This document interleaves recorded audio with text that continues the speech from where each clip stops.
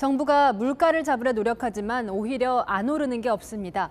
원자재 가격이 급등하면서 생활에 밀접한 물건들도 영향을 받고 있는데 지금 가장 필요한 보일러 가격까지 올랐습니다. 조현선 기자입니다. 톤당 108.53달러, 한 달 사이 20달러나 오른 철광석 가격입니다. 월급 빼고 다 오른다는 말이 나올 만큼 안 오른 게 없는 요즘. 철광석 가격까지 치솟자 제조업계들의 불안은 커져갑니다. 뭐 한마디로 어렵다.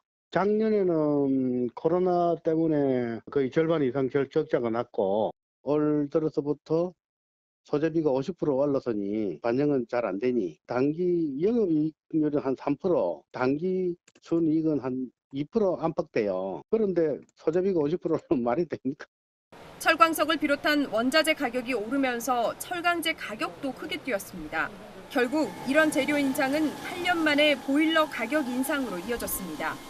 보일러는 한 번 설치하면 10년을 넘게 사용하지만 한 번에 수십만 원이 들어도 꼭 있어야 하는 생활 필수품 중 하나.